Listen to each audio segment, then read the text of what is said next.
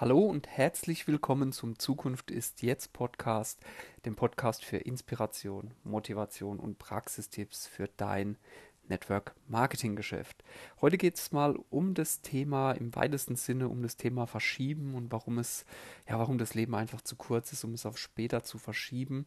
Und vielleicht kennst du ähm, ja diese Situation. Du hast so deine ersten Teampartner aufgebaut oder du hast bereits ein größeres Team aufgebaut und ein großer Teil deines Teams, die erzielen einfach nicht die Ergebnisse, die andere erzielen oder ja die sie eigentlich erzielen könnten. Ja, ähm, du kommst vielleicht aber auch mit Menschen in Kontakt, die dir ja von ihren Zielen erzählen, die große Ziele haben, aber wenn du sie ein paar Wochen später triffst, dann stellst du fest, Mensch, da ist es noch nicht wirklich vorangegangen, ja. Und du schaust dir dann diese Menschen an und du weißt so tief in deinem Herzen, Mensch, ähm, die sind so viel, viel mehr in der Lage, ja, und du weißt, sie könnten viel, viel mehr und du fragst dich dann so, ja, innerlich, Mensch, wie kann ich diesen Menschen denn einfach helfen, ja? Und die Frage, die hat mich jetzt die letzten Tage des Öfteren mal äh, beschäftigt, ja, und wie das, wie es das Leben halt so will, fiel mir da zufällig ein Spruch beziehungsweise ein Zitat von äh, Dante Alighieri in die Hände und ich dachte mir so, ja, das stimmt, das Leben, das ist einfach ja viel zu kurz, um es auf später zu verschieben. Ähm, das Leben ist zu kurz, um normal zu sein. Es ist ja einfach zu kurz, um einfach mal ja vielleicht zu sagen. Und das Zitat geht äh, ja in etwa wie folgt: Der eine wartet, dass die Zeit sich wandelt, der andere packt sie kräftig an und handelt. Ja und ja, ich meine, ich stell dir mal vor. Ähm, ja, eines Tages ist es soweit und du weißt, du hast vielleicht nur noch ein Jahr, ein paar Monate oder ein paar Tage zu leben. Und dann ist ja die Frage, ja, kannst du dann wirklich sagen, dass du ein schönes Leben hattest, dass du alle oder dass du alles versucht und gemacht hast, was du machen wolltest, konntest du all die Reisen machen, die du machen wolltest, konntest du all die Autos fahren, die du fahren wolltest, konntest du ja in deinem Traumhaus leben, konntest du die Familie gründen, die du dir gewünscht hast, oder ist es eher so, dass du sagst, Mensch, ah, hätte ich mal lieber jenes oder dieses getan, äh, wäre ich ein bisschen mutiger gewesen, hätte ich vielleicht mal eine eigene Firma gegründet oder hätte ich mal die Sache mit Network Marketing ausprobiert, ja, hätte ich Network Marketing mal nicht nur angefangen, sondern wirklich richtig betrieben und wäre Profi in dem Bereich geworden, ne? Oder hätte ich dieses oder jenes mal gemacht, ja, und da ist einfach die Frage, kannst du am Ende, ja, wenn so die Zeit sich dem Ende zuneigt, sagen, Mensch, du hast all das gemacht, was du, was du wolltest, ja, und da geht es einfach um das Thema Thema Prioritäten setzen und ähm, ja, ich kann dir einfach nur empfehlen, setz dir Prioritäten, denn das Leben ist einfach viel zu kurz, um es, ich sag mal, auf später zu verschieben, ja. Und die Frage, die sich mir dabei immer wieder stellt, ist, setzen wir Menschen ja immer die richtigen Prioritäten. Ne? Also wir haben bei uns zu Hause äh, ein Bild an der Wand, auf dem Carpe Diem steht und das bedeutet ja so viel wie nutze den Tag, genieß den Augenblick, ja. Und jeden Morgen, äh, wenn ich in die Küche gehe und mir äh, quasi einen Kaffee hole, dann erinnert mich dieses Bild daran, dass unsere Zeit auf diesem Planeten einfach endlich ist und wir deshalb einfach genau prüfen sollten, womit und wofür wir unsere Zeit einsetzen, ja. Und aus meiner Sicht ist das das Wichtigste und das Beste, was du tun kannst, ähm, ja, dass du deine Zeit äh, für das Erreichen deiner Ziele einsetzt, ja, und für die Menschen, die dir wichtig sind, weil das gibt deinem Leben dann äh, einen Sinn, ja. Ähm, aber vielleicht einfach nochmal kurz zurück zum Thema Prioritäten. Ja, vielleicht kennst du die Situation, du sprichst mit einem Teampartner oder mit einer Teampartnerin oder mit einem Interessenten, die berichten dir ja von ihren großen Zielen, kommen dann aber einfach nicht in die Umsetzung. Und die Gründe sind dafür häufig, ähm, ja, oder die, die, Gründe, die die Menschen dann häufig so anführen, ist ja keine Zeit, ich war anderweitig stark eingebunden oder sowas in der Art, ne? Und das hast du bestimmt auch schon mal gehört oder hast vielleicht auch für dich selber schon mal gedacht, ne? Und die Frage ist doch, ähm, wenn du, wie eben ja beschrieben, ja nur noch einen ganz bestimmten Zeitraum zu leben hättest, ja, dann stellt sich mir die Frage, würdest du tatsächlich ja noch bis spät abends arbeiten wollen? Würdest du tatsächlich als oberste Priorität haben, dass alles in der Wohnung sauber ist, die Garage perfekt aufgeräumt ist? Oder würdest du einfach endlich anfangen, die Dinge zu tun, die du vielleicht vor dir hergeschoben hast, die du endlich angehen willst, ja?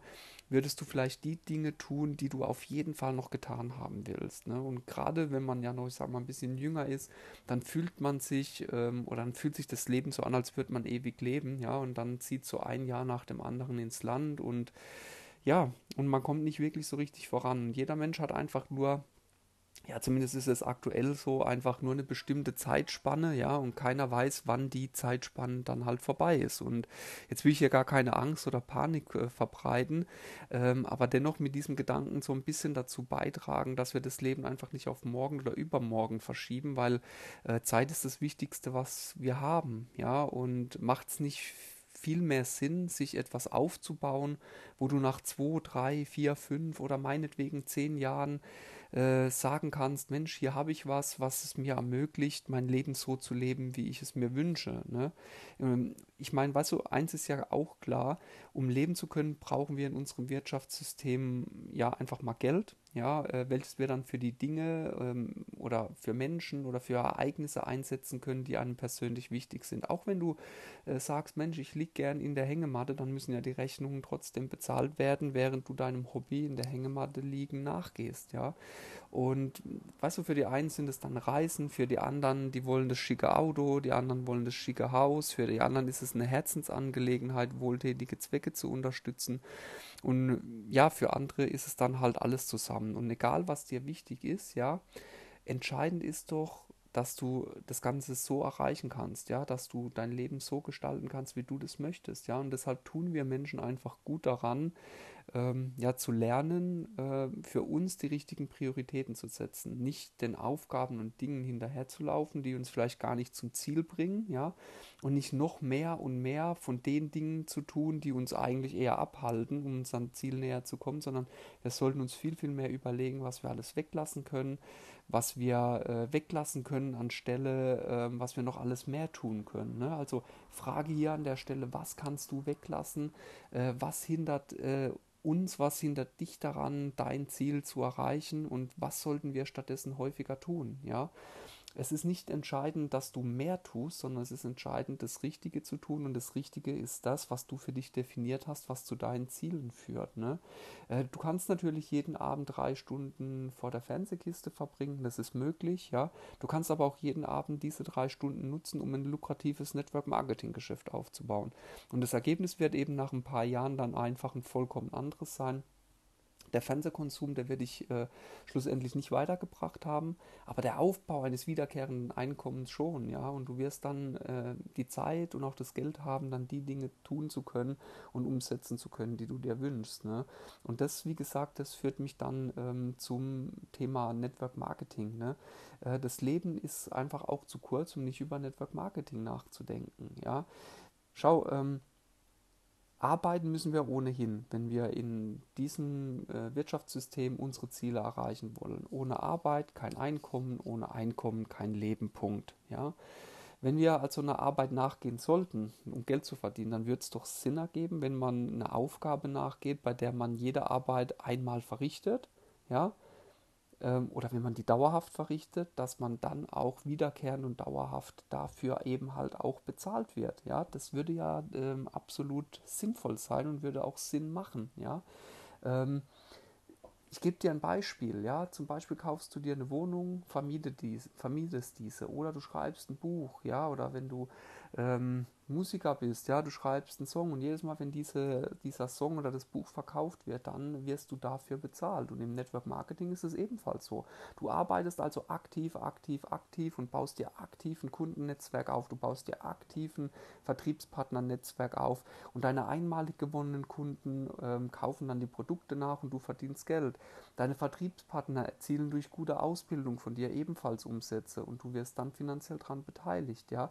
Es geht also beim Network Marketing nicht darum, ich sag mal, für, fürs Nichtstun bezahlt zu werden, sondern es geht darum, ähm, für einmalig getätigte Arbeiten immer und immer wieder bezahlt zu werden. Ja? Das heißt, du, der Vorteil ganz klar, du arbeitest aktiv und verdienst Geld und im zweiten Schritt wirst du dafür aber immer wieder bezahlt. Ja? Solange deine Kunden bei dir Kunden sind und solange deine Teampartner eben dieses Geschäft betreiben. Ja? Und dann spricht man von so einem, von einem sogenannten passiven Einkommen, welches du dir über die Jahre hinweg aufgebaut hast, ja. Und das ermöglicht dir dann zum einen zeit- und ortsunabhängiges Einkommen, Man könnte auch sagen, es ermöglicht dir äh, maximale äh, Freiheit ja, in deiner Lebensgestaltung. Ja, und darum äh, geht es doch letzten Endes. Und deshalb frag dich einfach mal selbst, wie viel ähm, von deiner Zeit pro Tag gehört eigentlich dir selbst? Wie viel Zeit von deinem Tag setzt du eigentlich für das ein, was du wirklich willst? Und wie kannst du die Zeit, die, die, die du aktuell pro Tag hast, ja, ähm, die jetzt nicht für Schlafen, Essen äh, drauf geht, ja, wie kannst du die so verwenden, ja, dass du da einen maximalen Nutzen draus ziehst, um zukünftig unabhängiger zu sein, weil du dir einen stetigen Einkommensstrom aufgebaut hast, ja. Schau, viele Menschen, die hangeln sich von Wochenende zu Wochenende. Montags ist das Ziel bereits, oder montags denkt man schon drüber nach, wie es wäre, wenn jetzt Freitag wäre, um sich dann am Wochenende von der Arbeit abzulenken.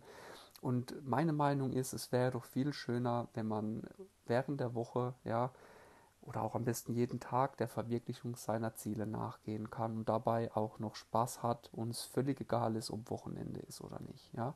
Wer sich bewusst macht, dass das Leben endlich ist, der geht auch wertvoller mit, Zeit, mit seiner Zeit um und der weiß auch, wie er seine Zeit ähm, verbringen will. Und Seneca, der hat schon früh für einen wertvolleren Umgang mit der Zeit appelliert. Ja?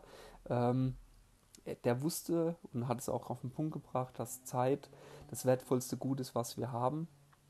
Und ähm, deshalb ist es auch wichtig, dass wir mit diesem Gut einfach sorgfältig umgehen. Ja? Ich möchte Menschen dabei unterstützen, und das ist das Schöne am Network Marketing, ich möchte Menschen dabei zu unterstützen, dass sie ihren Lebensstil so leben und kreieren können, wie sie das sich wünschen. Und du kannst Network Marketing nebenberuflich, hauptberuflich betreiben und dir nebenher das Leben erschaffen, was du ganz persönlich willst.